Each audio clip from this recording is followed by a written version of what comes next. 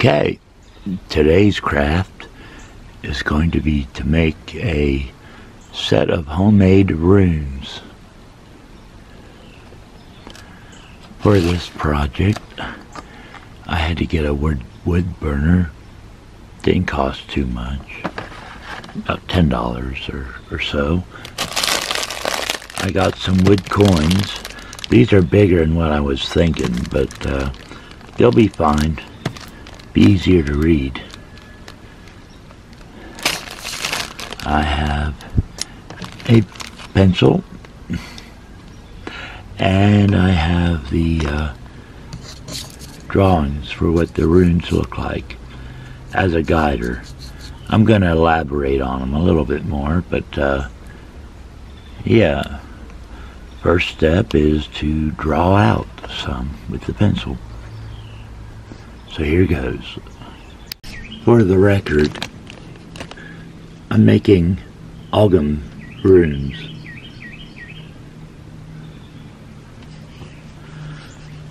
I got myself a stack right here and I'm going to work on one by one. Drawing out my pattern. The Ogham runes belong to the Celtic people of Ireland. That's where they came from. They're uh, old, not quite as old as the Nordic runes, but they're uh, similar but very different in their own unique way. Um, I'm not sure where they, they got their influence for them from. If the whole concept was borrowed from Norwegian or borrowed from the Vikings who would come in and conquer parts of Ireland at times. But, um, well, let me get drawn. I should have a straight line. I guess I could use this. Yeah, maybe I'll do this. The edge of this. Sorry for this sunlight. It's coming through the skylights up there and it's a little bright. Okay, got the first bunch drawn out. Well, I still have another bunch to do, but uh, that's half of them. Okay, got them done. Heating up my wood burner now. And my this wood burner it was fairly inexpensive really. And it came with uh, well three attachments in, in addition to the one that they have on the end already. And it's warming up now. You can get different amount of uh, attachments. You can get real complexive um, pieces now I just have to figure out how to unscrew them. You're supposed to, uh, they're all little tiny screws, you see. They go in the, the top. And I tried on that one and I couldn't get it off. So I'm just going to work with that one for a little while. See how that goes. But yeah, just letting it warm up and uh, once I get into it, I'll I'll try to set you up so you can see what's uh, what's going on.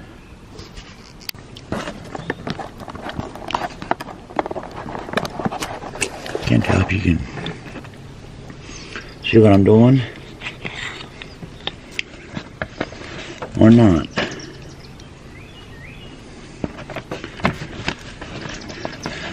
I think this is heated up enough.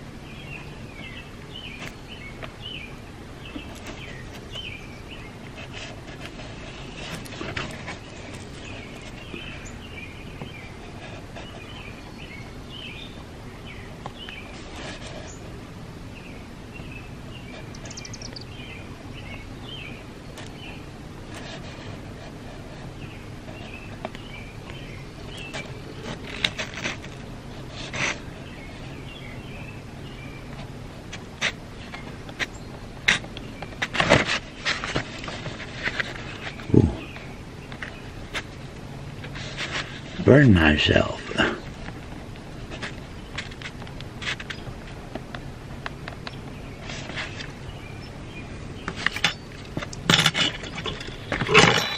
Yeah, this is hot. And it's very easy to get point on it. Come on.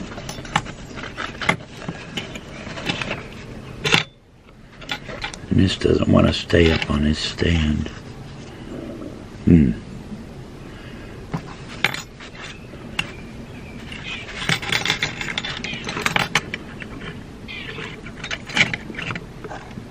That's better. Okay. There's my first one. Is it great? No. I I haven't had one of these wood burning sets since I was a, a boy. So it's going to take a little getting used to. When handling, be very careful because this is hot very hot. Let me go back to a little bit simpler one, as you can see here.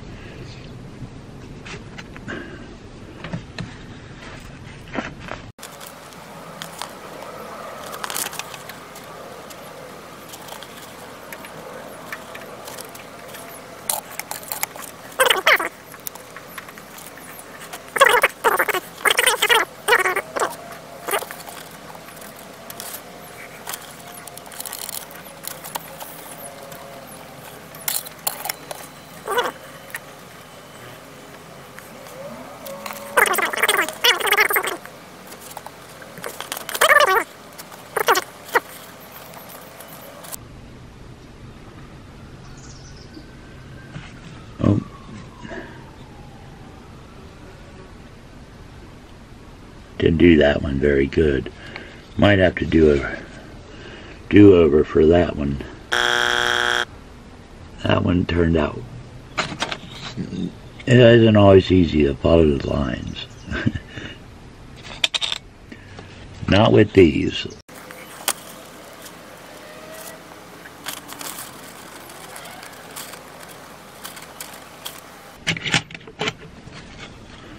Okay. I'm getting better at it, I think. I'm happier with that one.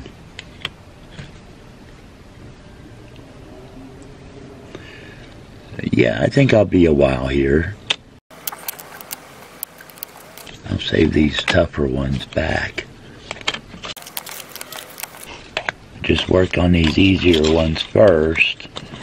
Then when I get the hang of it,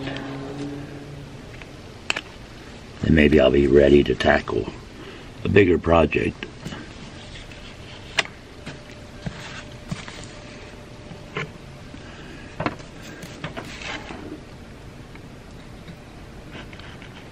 One, two, three. One, two, three. Okay, it don't take long.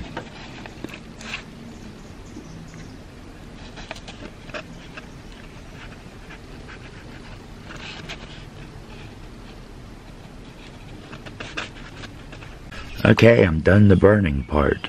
That was quick and fairly painless. I got my thumb a couple times, but uh, yeah, now I want to dye them or stain them. And then I'll be all done. Okay. I couldn't figure out what to dye them with. So I'm using food coloring. I mixed a lot of green with some blue and a little red and just some different colors. Um, but I was thinking about stain color, and when I think of the, the Celtics or the Celtics, I think of green, you know, for nature, the trees, the grass. Um, uh, the Irish, you know, um, if you think about them, you think of green shamrock. But uh,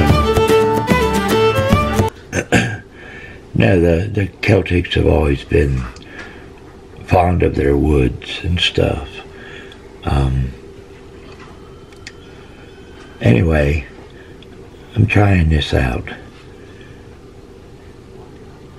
And I'm liking the, the way it brings out the wood grain. Okay, took them out. Put down paper towels on a tray. And I took some more paper towels and blotted the top. Okay, and here's my tray. You can see where I did the, the runes. Some of them are flipped over. They're in no any certain position. But uh, I liked I like how that worked out. I anticipated them drying lighter than what they are. So when these are finally dry, I imagine they'll be just kind of dark. I didn't want it too dark so I could still see the wood cutting. Otherwise, they'd be useless. I can flip some over here. Wow, I'm at it. I'll probably uh, wax them up a little bit. Put some sort of protectorant on it. And plus also being food coloring, I imagine this stuff would wear off on your skin. And already have enough on there right now. I got some there, and I got some on this other hand, excuse me, that I'm holding the phone with.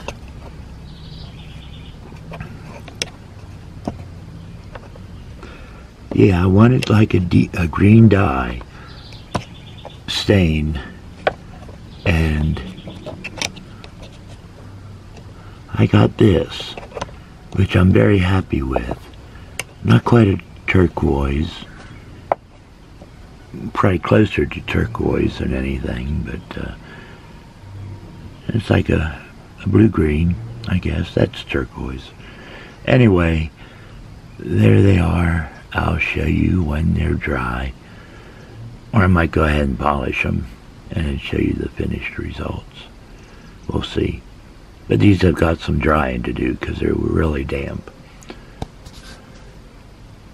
Alright, they sat overnight and this is what I have. Um, I like that. That's a pretty great color. I have this one I screwed up, so I'm going to try out my wax. It's Johnson's paste wax. It's old. but I'm going to wax one and see what it looks like. There it is before. Oh, hold on. Let me get it without so much glare. There we go. There's the collar. There we are before. Now let me wax it. Okay, so I took that one and I waxed it and I like it. It brings out the wood grain nicely. There you can see it next to others. And it brings back the green a little more so, less blue. So I'm happy with it. That's what they're going to be.